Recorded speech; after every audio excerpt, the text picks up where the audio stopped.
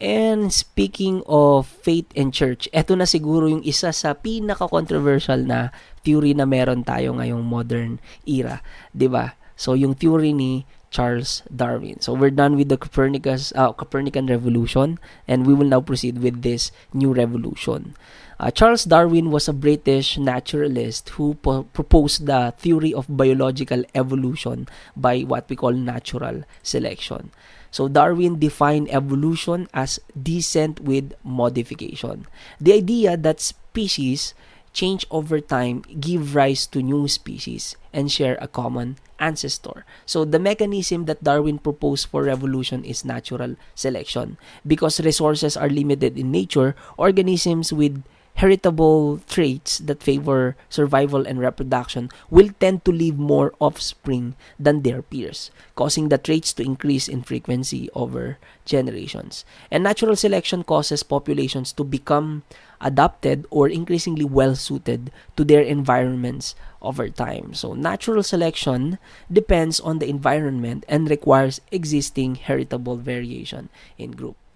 And to know more about the foundations of Darwin's work, pause this video first and watch this video located in your Module 2 video discussion folder and the Charles Darwin and Evolution link.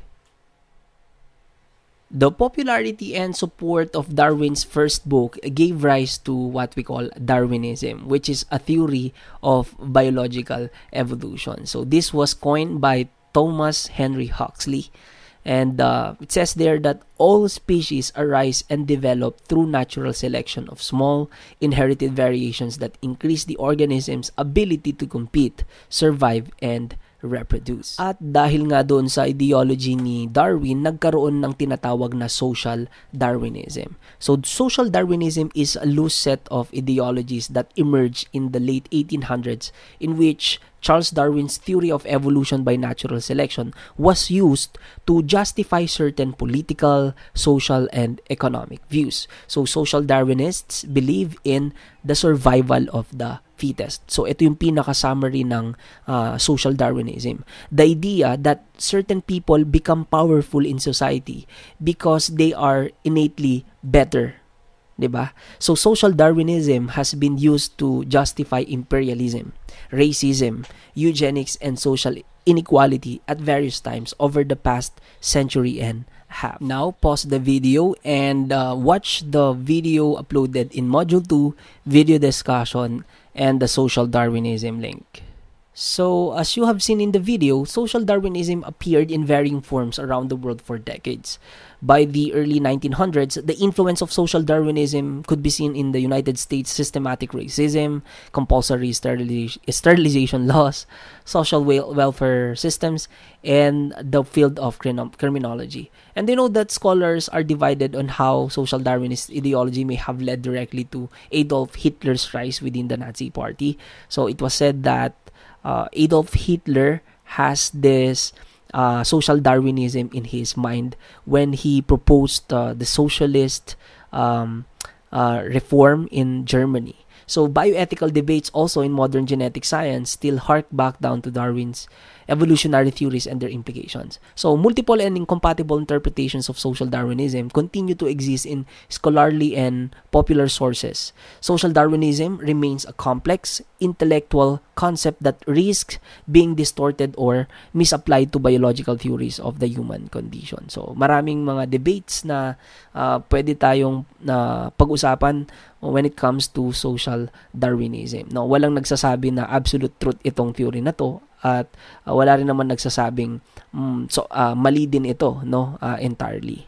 Okay? So debatable yung mga uh, facts na stated sa Darwinism or dun sa librong sinulat ni Darwin. Regardless whether we believe the uh, theory of Darwin or not no uh, itong sigurado naging malaking impact nito sa ating uh, paniniwala regarding the origin of human species Now, aside from uh, Copernican and Darwin revolution or Darwinian revolution, we also have what we call Freudian revolution. Simon Freud was the first psychoanalyst and a true pioneer in the recognition of the importance of unconscious mental activity. So his theories on the inner workings of the human mind, which seemed so revolutionary at the turn of the century, are now widely accepted by most schools of psychological thought. In 1896, Freud coined the term psychoanalysis and for the next 40 years in his, of his life, he worked on thoroughly developing its main principles, objectives, techniques, and methodology. According to Simon Freud, human personality is complex and has more than a single component. In his famous psychoanalytic theory, Freud states that personality is composed of three elements known as the id, the ego, and the superego. These elements work together to create complex human behaviors. So let's talk about the id first. The id is very important early in life because it ensures that an infant's needs are met. So lahat daw tayo ay pinanganak na merong id. Because if the infant is hungry or uncomfortable, they will cry until the demands of the id are satisfied. So these are our basic human needs. So young infants are ruled entirely by the id. There is no reasoning with them when these needs uh, demand satisfaction. Now, now imagine trying to convince a baby to wait until lunchtime to eat their meal. No? So ang gagawin lang ng bata umiyak nang umiyak kasi gutom gutom siya, 'di ba? So hindi niya iniisip kung maingay siya o anong nagiging reaction ng mga taong nakapalibot sa kanya. Basta nintindihan niya uh, pag gutom siya, ang gagawin niya iiyak siya para bigyan siya ng pagkain. The id requires immediate satisfaction and because the other components of personality are not yet present in the infant, no, so the infant will cry until the needs are fulfilled as I mentioned. Okay? So, kapag naman na uh, habang tumatanda daw tayo, ang mga tao, sabi ni Simon Freud, no, nagkakaroon tayo ng tinatawag na ego, no, because of our experiences in life. So, the ego operates based on the reality principle, which strives to satisfy the id's desires in realistic and socially appropriate ways. So, sabi ko kanina, kapag bata tayo, gutom tayo, iyak lang tayo, 'di ba? Pero habang tumatanda tayo, no, nare-realize natin na kapag gutom tayo, ano kaya yung tamang reaction, lalo na kung nakapalibot yung mga tao sa atin. So, doon pumapasok yung ego. The reality principle weighs the costs and benefits of an action before deciding to act upon or uh, or abandon impulses. So, imagine that you are stuck in a long meeting at work. You find yourself growing increasingly hungry as the meeting drags on. So, while the id might compel you to jump up from your seat and rush to the break room for a snack, the ego guides you to sit quietly and wait for the meeting to end. Because in our mind, that's the right thing to do. ba? Diba? Kasi you're in the middle of the meeting. So kung id lang ang pakikinggan ninyo, no, lalabas kayo kagad ng uh, meeting room at kakain. Pero dahil meron ka ng ego, no, maghihintay ka kasi ayaw mong mapahiya or mapagalitan sa mga kasama mo. Okay? At syempre kung merong id at saka ego, meron ding tinatawag na super ego. The super ego holds the internalized moral standards and ideals that we acquire from our parents and society. No, so this is our sense of right and wrong. The super ego has two parts. First is what we call conscience. So the conscience includes information about things that are viewed as bad by parents and society. These behaviors are often forbidden and uh, lead to bad consequences, punishments, or feelings of guilt and remorse pag ginawa natin. Okay? Uh, yung pangalawa naman, maliban sa conscience, ay yung ego ideal. The ego ideal includes the rules and standards for behaviors that the ego aspires to. So when talking about the id, the ego and the superego, it is important to remember that these are not three separate entities with clearly defined boundaries. These aspects are dynamic and always interacting to influence an individual's overall personality and behavior. So, a person who has a good ego strength can effectively manage these pressures, while a person with too much or little ego naman, strength can be unyielding or disruptive na. So hanggang ngayon, yung mga idea ni Freud ay ginagamit pa rin sa psychology at saka sa psychotherapy. So nakikita natin dito yung uh, dahilan kung bakit ang isang tao ay nagagawa niya itong mga bagay na to. And Freud influenced other individuals who became some of psychology's greatest thinkers like Anna Freud, yung anak niya, Alfred Adler, Carl Jung, Eric Erikson, Melanie Klein, and Otto Rank. Anna Freud created the field of child psychoanalysis and her work contributed greatly to our understanding of child psychology. So she also developed uh, different techniques to treat children. Freud noted that children's symptoms differed from those of adults and were often related to developmental stages. So yung uh, uh, anak ni Simon Freud, si Anna Freud, ipinagpatuloy niya lang yung sinimulan ng kanyang ama. No? Uh, now, how about uh, Alfred Adler? Adler's theory suggested that every person has a sense of inferiority. No? So, from childhood, people work toward overcoming this inferiority by striving for superiority. So, Adler believed that this drive was the motivating force behind human behaviors, emotions, and thoughts. While Erickson's stage theory naman of psychosocial development generated interest and research on human development through the lifespan. An ego psychologist who studied with Anna Freud, Erickson expanded psychoanalytic theory by exploring development throughout life, including events of childhood, adulthood, and old age. Melanie Klein, on the other hand, extended and developed Freud's understanding of the unconscious mind, analyzed how children play. So si Otto Rank naman developed theories of will and birth trauma, emphasize free will, relationships, and creativity. Okay, isa sa mga interesting na na-influensahan ni Freud ay si Carl Jung.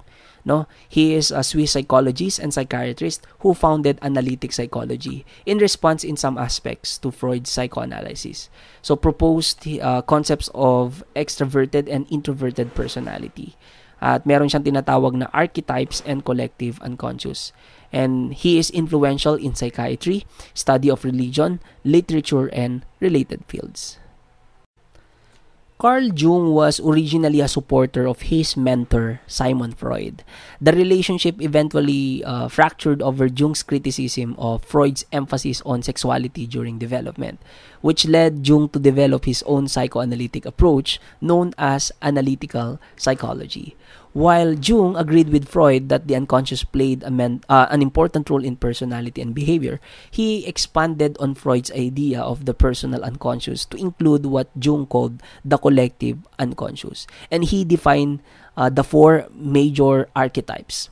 So, archetype is an original model or type after which other similar things are pattern So si Jung ay gumamit ng mga patterns or symbolism. So here's a good illustration of his uh, four major archetypes. The first is the persona. So the persona is how we present ourselves to the world. The word persona is derived from a Latin word that literally means mask. So nakikita nyo dito sa picture dito na merong babaeng may iba't ibang masks, 'di ba? Kasi ganito daw tayo. It is not a literal mask, however, no. The persona represents all of the different social masks that we wear among various groups and situations. So it acts to shield the ego from negative images. According to Jung, the persona may appear in dreams and take different forms. So kasi yung nagiging uh, personality natin ay nakadepende minsan kung sino yung uh, taong kaharap natin, 'di ba? So kung halimbawang itong tao na to ay kaibigan mo at pwede mo namang pwede kang maging normal sa kanya, uh, pwedeng may pakita mo yung uh, totoong personality mo. Pero minsan, pagka hindi natin kilala o strangers yung kausap naman natin, hindi tayo kaagad nagpapakita ng ating totoong personality. Gumagamit kumbaga tayo ng mask to hide our uh, pers- personality no? Lalo na kung inferior tayo. Now the shadow is an archetype naman that consists of the sex and life instincts. So the shadow exists as part of the unconscious mind and is composed of repressed ideas weaknesses desires instincts and shortcomings. The shadow forms out our attempts to adopt uh, to cultural norms and expectations. It is this archetype that contains all of the things that are unacceptable not only to society but also to one's own personal morals and values. It might include things such as envy, greed, prejudice, hate, and aggression. So this archetype is often described as the darker side of the psyche no representing wildness chaos and the unknown these latent dispositions are present in all of us daw sabi ni Jung although people sometimes deny this element of their own psyche and instead project it on to others Okay? So, after naman nun, meron siyang tinatawag na anima. So, the anima is a feminine image in the male psyche. At yung animus naman is a male image in the female psyche. Okay? So, yung bawat male daw ay meron daw feminine side. At yung bawat ano naman daw, female, ay merong male side nila. Okay? So the anima or animus represents the true self rather than the image we present to others and serve as the primary source of communication with the collective unconscious. So Jung believed that psychological changes as well as social influences contributed to the development of sex roles and gender identities. So Jung suggested the influence of the animus and anima archetypes were also involved in this process. According to Jung, the animus represents the masculine aspect in women while the anima represented the feminine aspect in man uh, or in men like I said before. So the self naman yung last na archetype natin, the self is an archetype that represent the unified unconsciousness and consciousness of an individual. So this is like the totality of our personality, no, or or of our psychology. Jung often uh, represented the self as a circle, square or mandala. Creating the self occurs through a process known as individuation, in which the various aspects of personality are integrated. So Jung believed that this harmony between the unconscious and the conscious mind could lead to psychological problems. Bringing these conflicts into awareness and accommodating them in conscious awareness was an important part of individuation process.